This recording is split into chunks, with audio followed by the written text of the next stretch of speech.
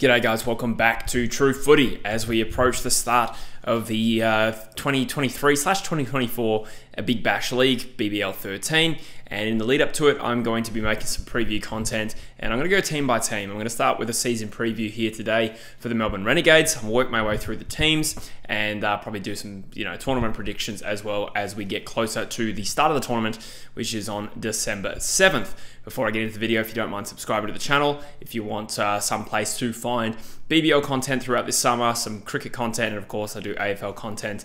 Uh, even though it's the off season, I'll find a way to work some in anyway. So for now, we're going to talk about the Renegades. Uh, I'll talk about their squad, there's changes, potentially their best 11, and then potentially a bit of a prediction as well as to how this tournament's going to go for them.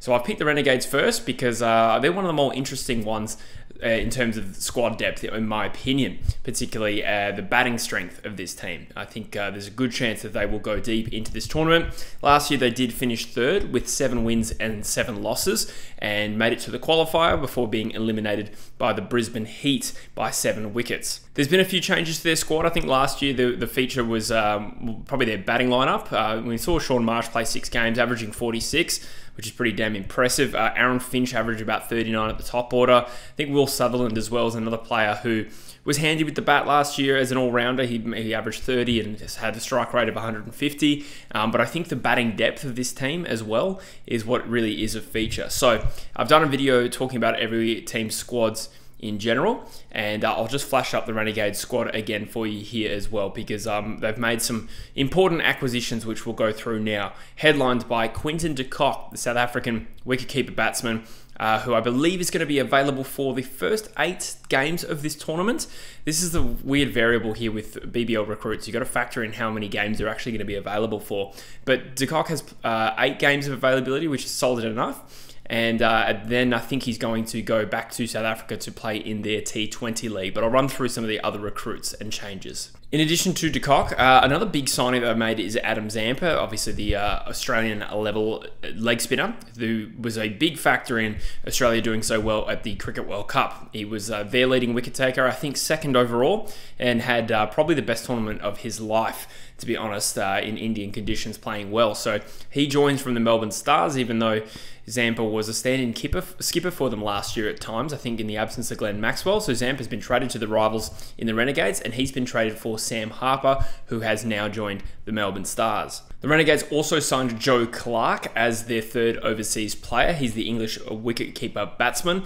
And prior to these two overseas players joining the Renegades, I believe they had no wicketkeeper listed in their squad, which is going to be an issue as well because I don't think Clarke is available for the entire tournament as well. I believe in mid January he leaves to the UAE for their T20 competition that's going on. Uh, so they're going to lose De Kock, and then one game later, perhaps they're going to lose uh, Joe Clarke as well. So it's going to get icky for them. And then there's also, uh, they've retained their spinner in Mujeeb ur Rahman, who uh, also is going to be playing in the UAE T20 competition. So all three of those players might be leaving by the time finals rolls around.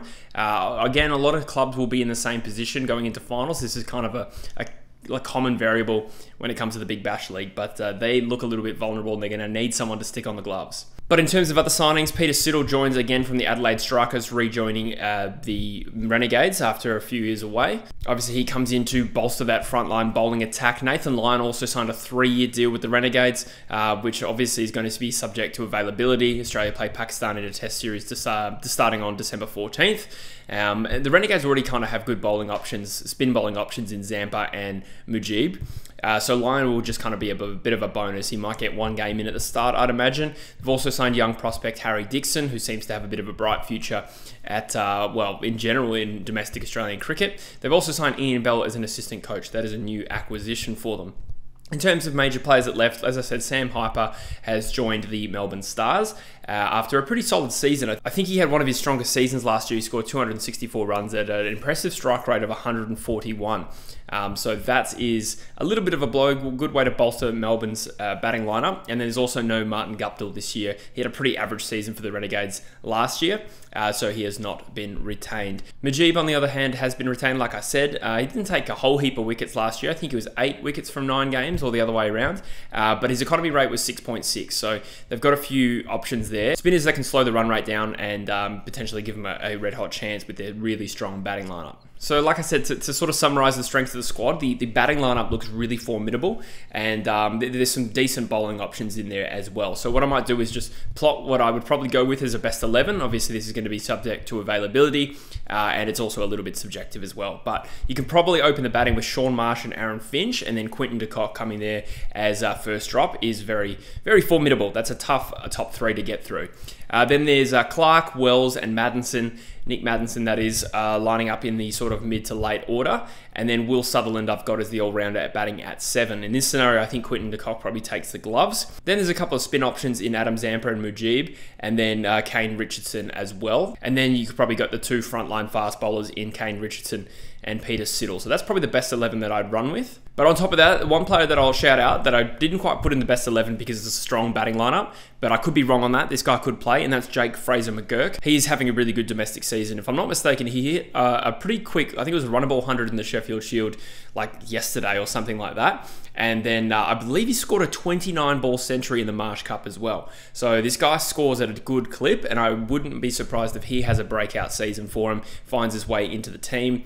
Uh, and then there's also Will Sutherland, who again I think is a very high potential young prospect um, that uh, hasn't quite clicked yet. But long term, I think there's a lot of potential there. If he's already scoring at 150 at an average of 30 with the bat, and if he can become a good fifth option, uh, probably better than the fifth option. But if he's a genuine wicket taker this year in the tournament, he could go a long way to the Renegades, really closing the gap on from third to first. So an overall prediction on the Renegades, uh, based on all of that, I think they have the the quality to go top two. I think it is going to be a team that probably relies a lot on their their team, their lineup making a lot of runs, particularly that top order. And uh, it's a little bit of an unknown exactly how the that bowling lineup will go. Richardson obviously has been a good player over the years, and is obviously playing for Australia in the T20 comp right now against India. Uh, Peter Siddle again, he won't be called up for Australia. Will Sutherland having a good tournament would be, would be a nice plus, and as I said, Fraser McGurk. But there's a lot of runs to be had in that Renegades lineup, so I, I think a top two finish is quite realistic for them. I think they've recruited really well. Anyway, guys, that is just my take on the Melbourne Renegades